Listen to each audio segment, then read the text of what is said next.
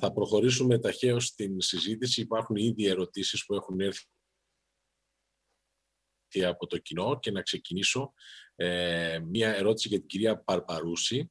Η προχειρητική χορήγηση της ελτροποπάκης σε ιδιοπαθή θρομοπενική πορφύρα περιελάμβανε και χορήγηση σε κοίηση πρώτο και του; Όχι, ε, δεν, δεν σας βλέπω, δεν ξέρω για ποιο λόγο δεν έχω εικόνα, αλλά δεν περιλάμβανε, οι ασθενείς ήταν προγραμματισμένα χειρουργία, αλλά δεν περιλάμβανε κοίησεις. Μάλιστα. Ε, μία ερώτηση έχουμε για τον κύριο Κωστή, αν υπάρχει ελληνική εμπειρία από τη χρήση μονοκλονικών αντισωμάτων έναντι του SARS-CoV-2. Το γνωρίζω, δεν έχει έρθει αυτό το φάρμακο στην Ελλάδα. δεν, δεν έχω υπόψη. Πάντως επίσης... προορίζεται για εξωνοσοκομιακούς αρρώστους, οι οποίοι βέβαια επειδή είναι παρεντερικά χορηγούμενοι, θα πρέπει σε κάποιο χώρο να έρθουν να πάρουν το φάρμακο και ο στόχος είναι να μπορέσουν να μείνουν όσο τον εντόν περισσότεροι άνθρωποι εκτός του νοσοκομείου, να μην χρειαστούν νοσηλεία. Κύριε Κωστή, ένα σχόλιο επίσης για την κολχικίνη, η οποία ξεκίνησε και από την ε, Ελλάδα, από μια μεγάλη πολυκεντρική ελληνική μελέτη, αν έχετε όσον αφορά για την επίδρασή της πάνω στη λίμωξη COVID. Ε, έχω υπόψη μου μόνο ένα press release που βγήκε και βάσει του οποίου η Ελλάδα υιοθέτησε την ε, χρήση της κολχικίνης σε εξονοσοκομιακούς αρρώστους. Δεν έχω δει όμως εργασία, την εργασία αυτή να έχει δημοσιευθεί και αν θέλετε στην πράξη εκείνο που εισπράττουμε είναι πολλούς αρρώστους να έρχονται ε, μέσα ε, με διαρροικές ε, κενώσεις σαν ανεπιθύμητη ενέργεια της ε, Δεν ξέρω αν κάποιος άλλος έχει δει αυτή την εργασία δημοσιευμένη. Εγώ δεν την έχω δει.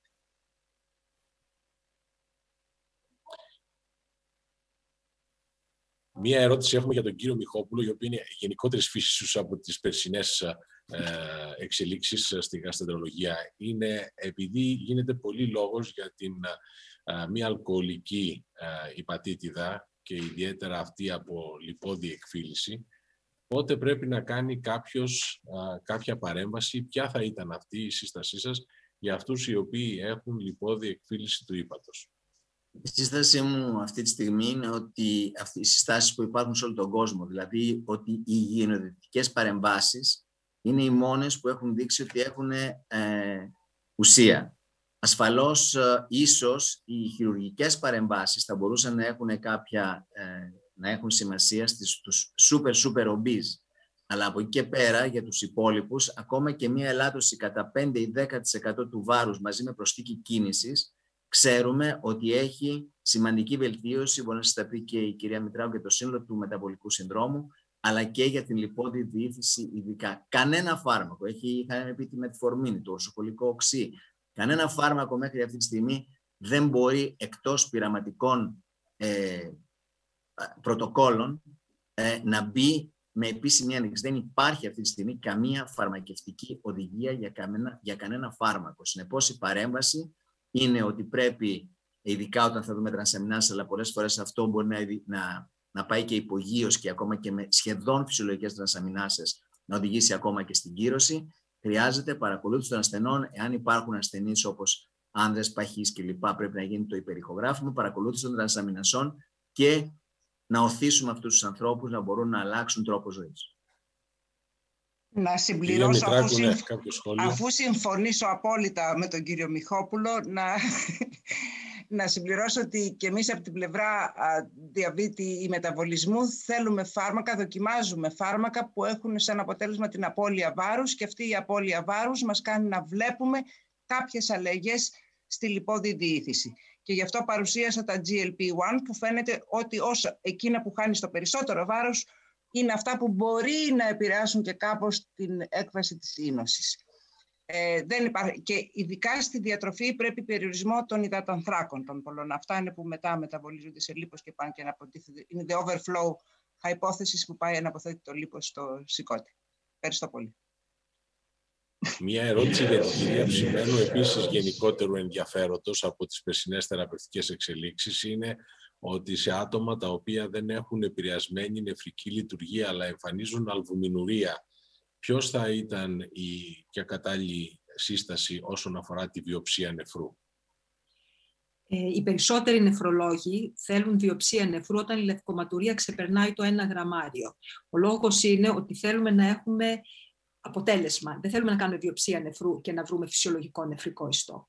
Θέλουμε όταν την κάνουμε να έχουμε παθολογία. Πάνω από ένα γραμμάριο είναι σίγουρο ότι θα βρούμε παθολογία.